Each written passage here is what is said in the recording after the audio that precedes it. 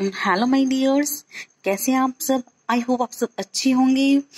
आज हम करने जा रहे हैं सी का एक topic difference between S M L and C M L हम अपनी लास्ट वाली वीडियोस में capital asset pricing model S M L that is security market line and capital market line के बारे में पढ़ चुके हैं। uh, उन वीडियोस का लिंक मैं आपको डिस्क्रिप्शन बॉक्स में दे दूँगी। आज हम दोनों के बीच में डिफरेंस पढ़ रहे हैं।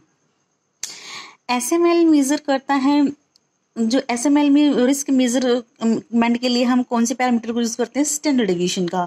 लेकिन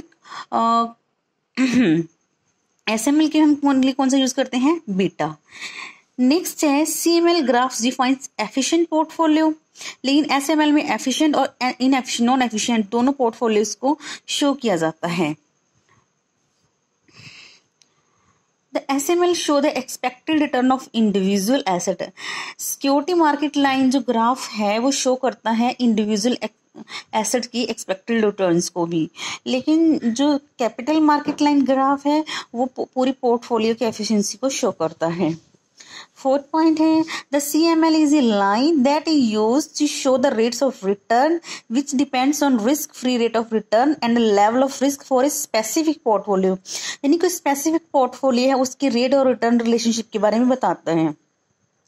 और सिक्योरिटी मार्केट लाइन को हम करेक्टरिस्टिक्स लाइन भी कहते हैं, क्योंकि ये जो सिक्योरिटी को जो भी फैक्टर इफ़ेक्ट करते हैं, उन सभी को कंसीडर करता है। और ये क्या है? ग्राफिकल रिप्रेजेंटेशन है मार्केट रिस्क और रिटर्न का। गिवन टाइम स्पेसिफिक टाइम को कंसीडर करता है, यानी कि टाइम वैल्यू को भी कंसीडर करता है S M L graph capital market line के ग्राफ में हम वाई एक्सिस पर रिप्रेजेंट करते हैं एक्सपेक्टेड रिटर्न और एक्स एक्सिस पर हम रिप्रेजेंट करते हैं स्टैंडर्ड एविशन लेकिन जो सिक्योरिटी मार्केट लाइन का ग्राफ है, हम उसे वाई एक्सिस पर रिप्रेजेंट करते हैं रिक्वायर्ड रेट ऑफ़ रिटर्न और एक्स एक्सिस रिप्रेजेंट करते हैं बीटा यानी कि market risk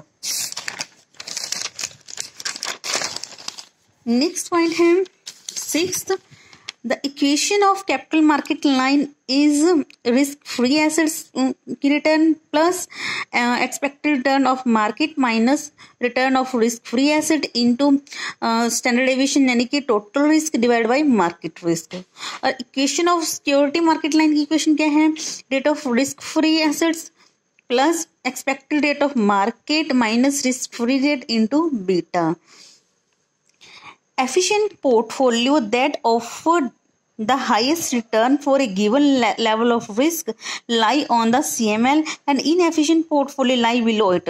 Capital market line में क्या होता है कि जो हाईएस्ट रिटर्न शो करते हैं वो तो उस लाइन पर ही होंगे और जो इनएफिशिएंट पोर्टफोलियो वो सीएम के एल के बिलो होते हैं ऑल पोर्टफोलियो बहुत एफिशिएंट और इनएफिशिएंट वो सभी क्या है एस एम एल लाइन के ऊपर ही शो करते हैं।